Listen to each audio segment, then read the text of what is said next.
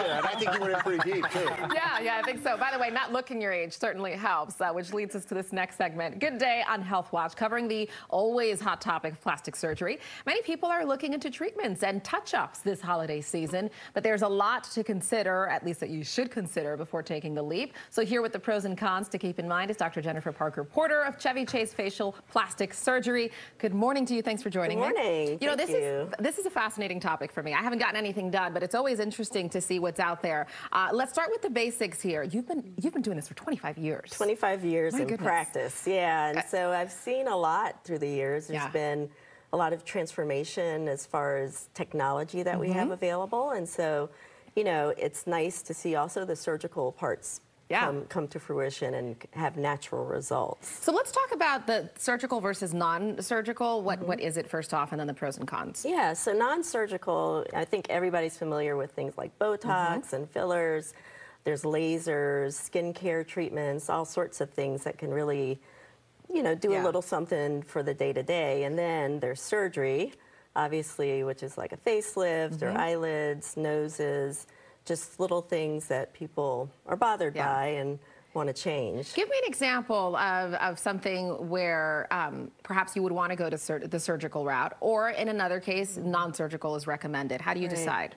So rhinoplasty, which Mm-hmm. is one of my specialties, I think that is one way that you'd want to go surgical Yeah. because to continually put fillers in your nose, which is not ultimately Mm. safe all the time, um, is not the best thing. So I would say that would be a surgical route. Whereas some of the non-surgical things that are rejuvenative, those things you can do dabble in. Yeah. And then there might come a time when surgery might be the more appropriate thing. Give me an example of non-surgical procedures that are actually really effective, where you get bang for your buck. Yeah, so Morpheus skin tightening or any type of skin tightening treatment is good. It just prolongs the health of the skin. Um, Botox, I love. And Yeah? there's a newer one that's um, just going to help rejuvenate a little bit longer than the traditional Botox and look very natural. Is there any surgical procedure where you would ask people to seriously consider, um, given some of the risks,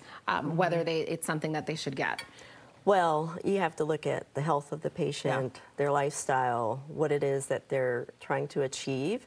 And so I think once we take all those things into account Mm-hmm. and we decide like which which way they want to go. So facelift for instance would be something that will take a little bit longer to Yeah. recover, but you're going to have that result for a lot longer than you would with these things. How do you make sure you're going to the right person? Because a procedure uh, can have, maybe it does or doesn't have its serious risks, but the person who's actually doing it uh, is a big part of that equation. How do you determine this person is legit and you're not just going off of how many followers they got on social yeah, media? Yeah, yeah, yeah. No, that is that is huge. So you want to make sure you're going to a board certified facial plastic surgeon or a board certified plastic surgeon to do your surgery. Mm-hmm. Um, they're going to be trained well, um, typically have experience, and also you want to look at their before and after pictures and Yeah. make sure that is the aesthetic that you want to achieve. And, and, and to wrap up here, I know with the onset of filters and photoshopping and, and all of that, um, I, I wonder if you've got to tell folks to be a little realistic. Like, are you seeing folks being increasingly unrealistic Oh, about what they want? absolutely. Well, yes. Ever since the filters came out, Yeah. you know, they look at that, they say,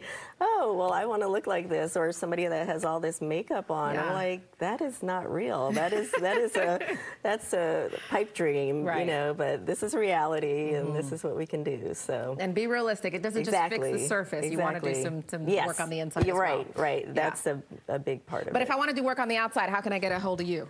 oh, we're right across the street. Uh, Chevy Chase Facial Plastic Surgery.